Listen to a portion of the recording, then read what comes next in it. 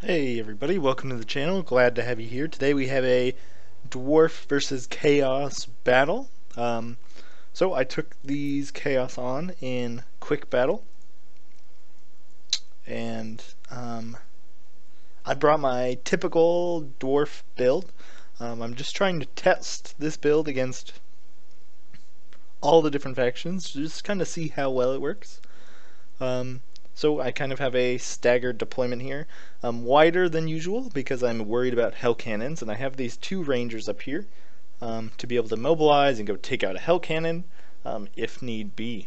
Um, so I have my four rangers, my main line of four dwarf warriors, two dwarf warriors on the flank, two longbeards with great weapons, um, two more rangers in the back. This this longbeard with great weapons is the grumbling guard.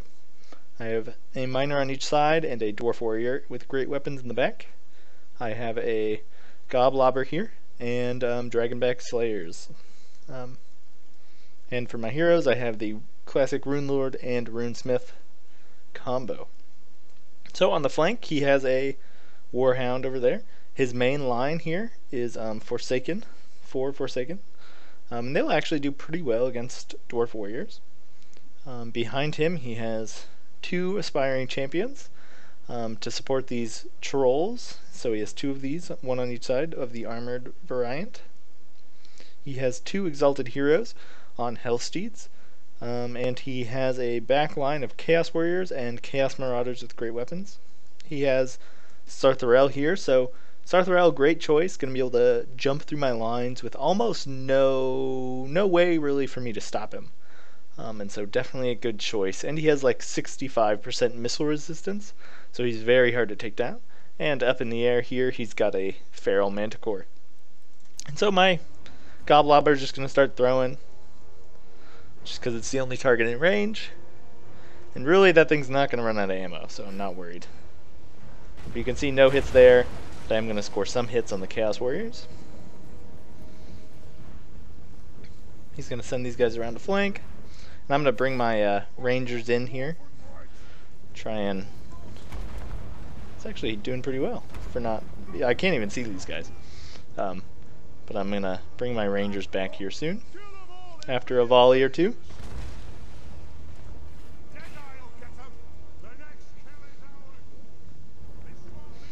Almost broke just because of the uh, Goblobber.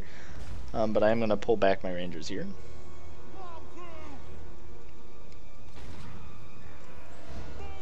And I think I switched targets here just to the main line with my Goblobber.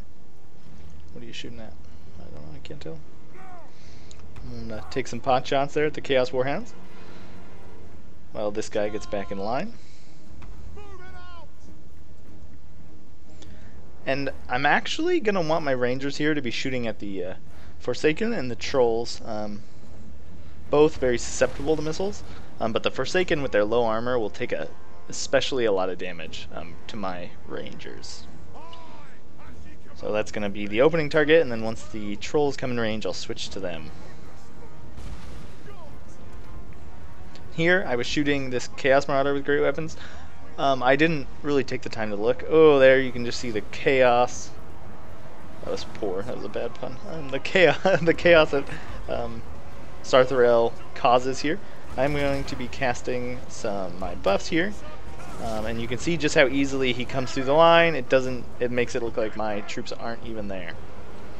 Um, he's going to be pushing on all sides essentially, and here you can see the uh, Sarthorael getting all the way to my back lines with the um, dwarf warriors. I have my master runes here, uh, pricking, uh, procking on the uh, Forsaken. Um, maybe the trolls would have been a good choice. Um, but I just wanted to get that cooldown going so I could use it again later on these Chaos Warriors in the back lines. I still have my miners here for support to throw them where I need. Um, and I'm going to be charging these Dragonback Slayers into this Manticore as he lands. Um,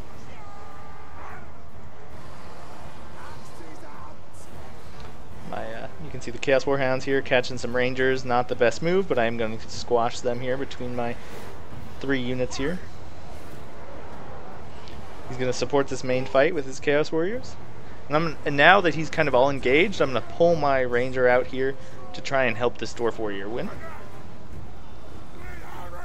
Um, and I'm also going to be targeting the trolls, and I'm going to be targeting the trolls of the Goblobber. I don't even need, really need to hit. I just want that discourage aura going off here. So here you can see I route the uh, the Chaos Warhounds, and he's bringing in Sarthorael to help just clean up this fight, do some charge damage. But once he's in charge animation, there's nothing he can do. He's going to be able to get away no matter what. See, I accidentally pulled my rangers out here, but then a glitch made them charge back in. Supporting my main line here. It's not going too well with the support of the trolls and the aspiring champions and the uh, chaos warriors. There's just a lot going on there. Um, and it doesn't look too good in the main line, but my two armor piercing units are still full health. Here, um, his Forsaken gets into one of my rangers, and I'm going to shoot into the side of it with my other one, and that's going to clean those guys up real quick. I'm gonna I'm gonna realize that chasing him around is not really worth it, so I'm gonna bring these Slayers in here, try and help take down the uh, trolls and potentially the Manticore. So here you can see my rangers are going to be shooting in at the trolls my great weapons here going up for, against Forsaken. Not the best choice, but they're the only unit I have back here. And all my rangers here, you can see I'm shooting at the uh, trolls. Just trying really hard to get them off the field. My runesmith here is just popping all his abilities, trying to keep them alive. Good job here moving the Forsaken to disrupt the rangers, um, but they are going to rout. Um, pulling out of that unit did not do them good. You can see finally I'm routing this Chaos Troll, and there goes this Manticore. My Slayers, even though my Slayers are on it, it's still able to pull off. Um, and my Rangers here, with Concentrated Fire, are slowly going to send off all these guys. I do have to be aware they are going to come back. Um, you can see I'm shooting into the, the back of them there to make sure they route away at least a little bit. So Sarthorael, big problem here. Exalted Hero Blob, big problem. Um, there's not really much I can do to stop them from killing these guys. Um, I just need to try and blob in with any infantry I have and just try and survive.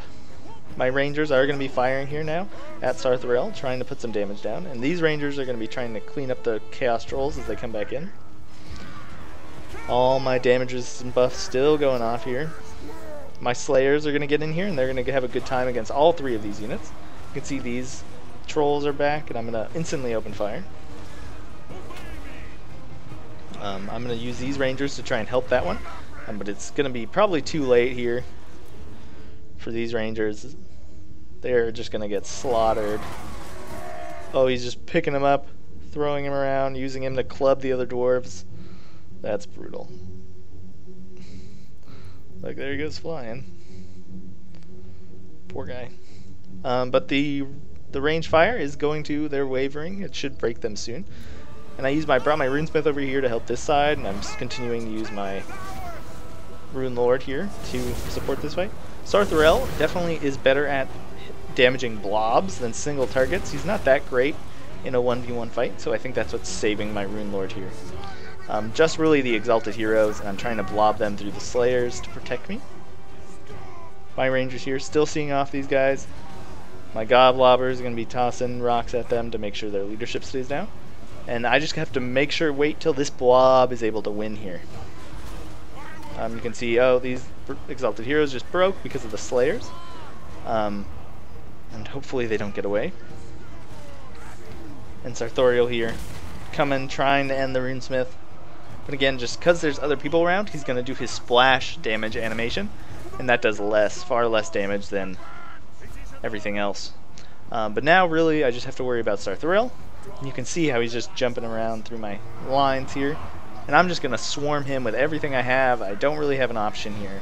I am going to be casting Rune of Wrath and Ruin here and shooting the remains of my ammo. Um, you can see this guy's almost out of ammo, this guy's got a little bit, and this guy's out. Um, and he's going to come try and get these guys. And you can see my Slayers just behind him,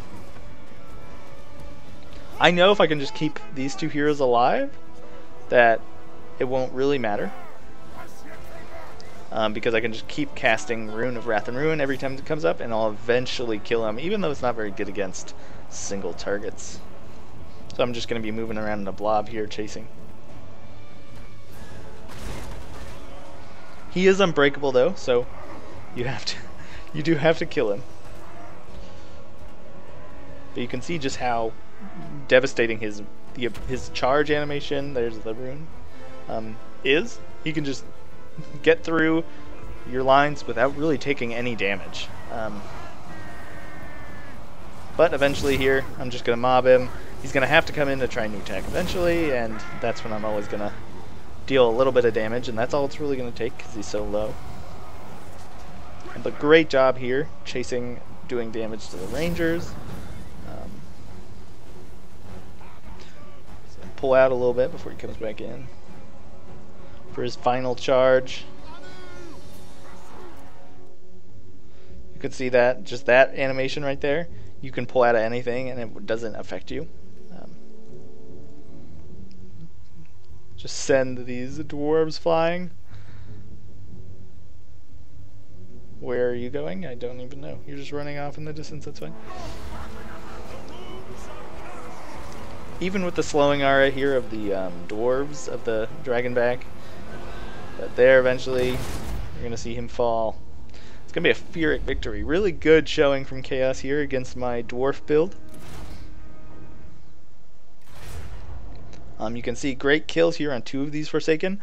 I think these are the two Forsaken that were on the flanks, um, and so the dwarves, those dwarves were not super affected by the buffs of my runesmith, so that allowed them to get a lot more kills.